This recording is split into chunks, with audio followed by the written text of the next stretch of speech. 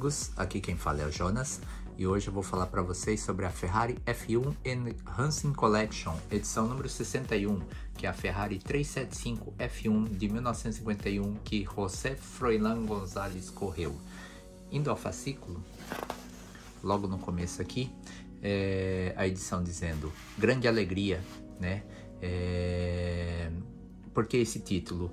Né? Esse que foi o carro que, em, que a Ferrari conseguiu sua primeira vitória oficial no Grande Prêmio de Fórmula 1, né? com José Froilán Gonzalez vencendo o Grande Prêmio da Inglaterra. Né? Até então a Ferrari já tinha vencido, né? mas em provas extra-campeonato. Né? E como prova é, de, de, do campeonato oficial mesmo, essa aqui se tornou a primeira vitória de todas as vitórias que a Ferrari tem até hoje na Fórmula 1. Né? É... Mais é, detalhes daquele ano, né? Aqui vemos Alberto Ascari, né? É, no Grande Prêmio de San Remo, né? É, falando é, da vitória que ele conseguiu é, nessa prova extracampeonato é, daquele, daquele ano de 1951, né? Aqui no detalhe Uh, Gonzalez recebendo a bandeirada de chegada no GP da Inglaterra, né? Na foto central aqui, é ele com Juan Manuel Fangio, né? E na foto direita, é, o carro o, num evento de históricos é, da Fórmula 1, né? É, numa aparição é, de evento, né? Mais detalhes aqui, né? É, na foto à esquerda aqui, detalhe do motor da 375, né? É, na foto central, Gonzalez é, pilotando o carro e à direita é uma foto dele em detalhe, né?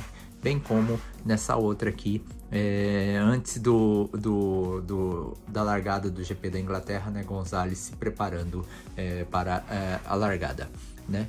Uh, nesse é, bonito pôster aqui, né?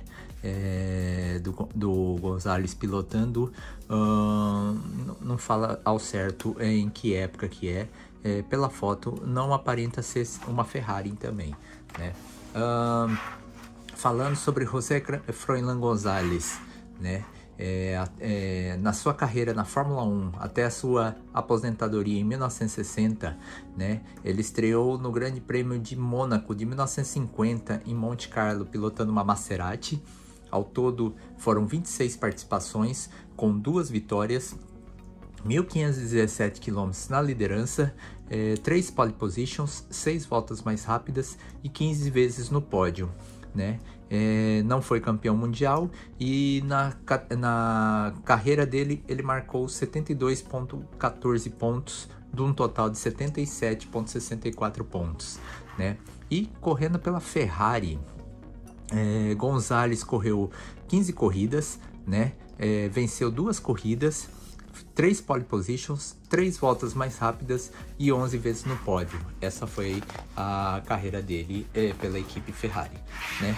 Ah, falando sobre o campeonato de 1951, né? É, Juan Manuel Fangio, é, correndo pela Alfa Romeo, foi campeão com 31 de 37 pontos.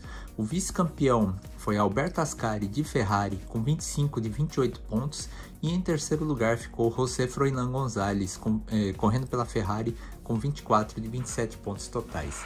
Né? Ele aqui no cockpit do carro, né? É, e outros momentos aqui. É, ele é, no Grande Prêmio da Inglaterra, né? É, na foto é, central é a mesma corrida, né, ele recebendo a bandeirada, e na foto à direita, no Grande Prêmio da Alemanha de 1954, é, ele comemorando é, o pódio juntamente com Juan Manuel Fangio, né, e as especificações, né, é, os detalhes do, do, do, do desse raio-x do carro, né? É, falando sobre a, o feixe de molas da suspensão, né? As dimensões, o cockpit, né? É, detalhes, é, detalhando também sobre o motor e a suspensão, né?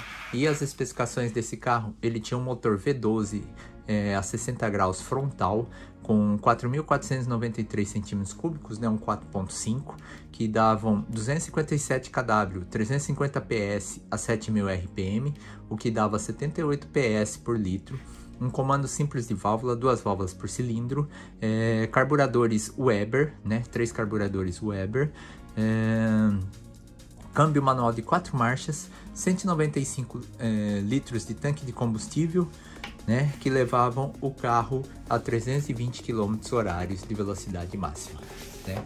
E a próxima edição da Ferrari F1 and Racing Collection será a Ferrari 312 61, né? 312 F1 66, aliás, que Ludovico Scarfiotti correu em 1966. Eu vou dar um corte na câmera aqui e vou voltar para a miniatura. Bem, voltando para a miniatura, essa aqui ela ficou um primor, né, de qualidade?